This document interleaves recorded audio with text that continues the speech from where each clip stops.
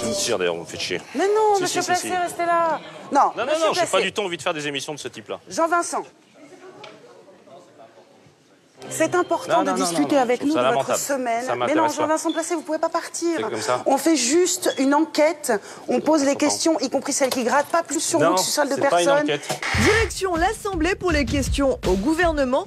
Petite nouveauté avec un député UMP qui s'est pris pour Julien Lepers dans Question pour un champion. J'organise le démantèlement d'un secteur industriel de pointe et fragilise ce qu'il reste de la compétitivité énergétique de nos entreprises. Je programme l'effondrement industriel de régions entières.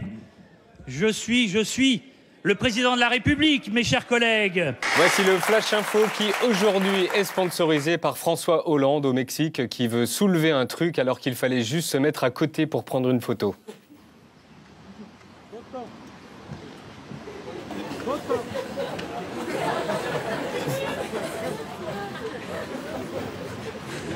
On fait la queue comme à la machine à café.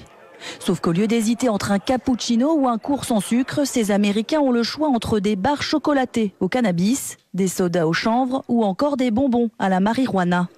Mais attention, même si ça en a tout l'air, ce n'est pas en libre service. Ce distributeur automatique contrôle votre identité et votre âge.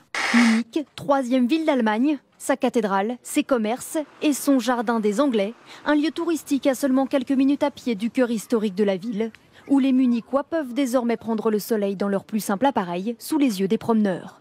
La municipalité vient d'autoriser la nudité dans six zones de la capitale bavaroise. Le mot de la fin, c'est selfie, je crois. Oui, Bon, évidemment, c'est pas la peine de vous réexpliquer ce qu'est un selfie. En Non, voilà un assez euh, insolite, assez douloureux aussi, euh, celui d'un adolescent qui a tenté de se prendre en photo pendant ses vacances à côté d'un train. Lui assure avoir euh, respecté les distances de sécurité.